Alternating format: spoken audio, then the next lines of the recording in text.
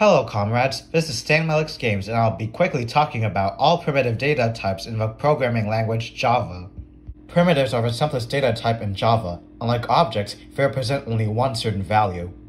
There are four data types that represent whole numbers, byte, short, int, and long. A byte takes up 8 bits of space. Its minimum value is negative 128 and its maximum value is 127. A short takes up 16 bits of space. Its minimum value is negative 32,768, and its maximum value is 32,767. Ints are the most common whole number data type that you'll be seeing and using in this class. They take up 32 bits of space.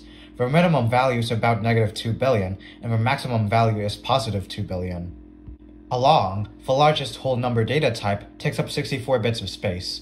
Its minimum value is negative 9.2 times 10 to the power of 18, and its maximum value is that, but positive. If you need to specify that you are returning a whole number a long, then you need to type an uppercase L after the number. All whole number data types in Java have a default value of 0. There are two primitive data types in Java that represent decimal numbers, float and double. A float takes up 32 bits of space. It can represent any number accurate up to 7 decimal places. If you need to specify that you're returning a decimal number as a float, then you need to put a lowercase f after the number. A double, which is the most common type of decimal number that you'll be seeing and using in this class, takes up 64 bits of space. It may represent any number accurate up to 15 decimal places. As with whole numbers, the default value for both decimal number data types is 0. However, they will be returned as 0.0.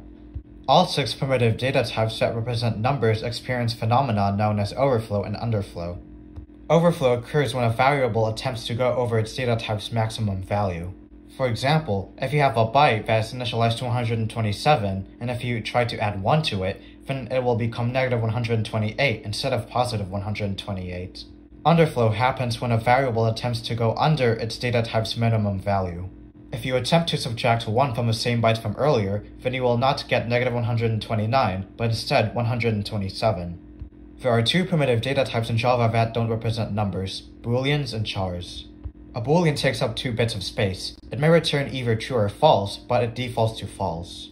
A char, or char, whatever you want to call it, takes up 16 bits of space. It may represent any ASCII character. Its default value is null, which just means nothing.